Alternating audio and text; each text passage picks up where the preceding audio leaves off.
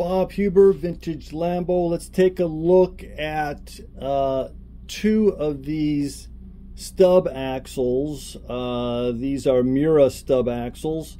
And uh, there's some problems besides just typical little rust and whatnot.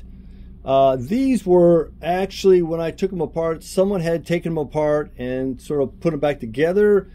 They did this little paint job on here. Well, there's there's a glaring problem here. Uh, this should not slide off. As you can see, you have a little little groove right there for a specialty puller to pull this inner race off the roller bearing.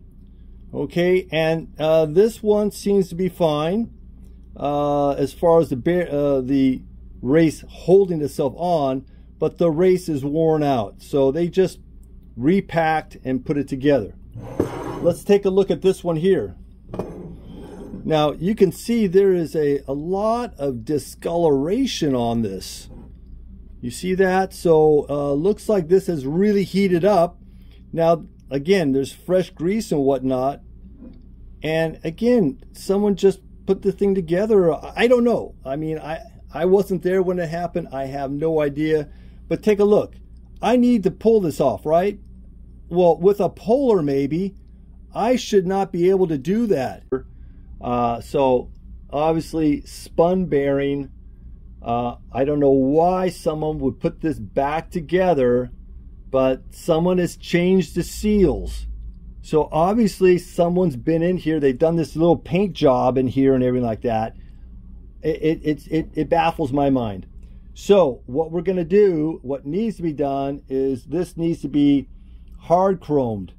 So uh, there's no worries with hard chrome with roller bearings if it has an inner race.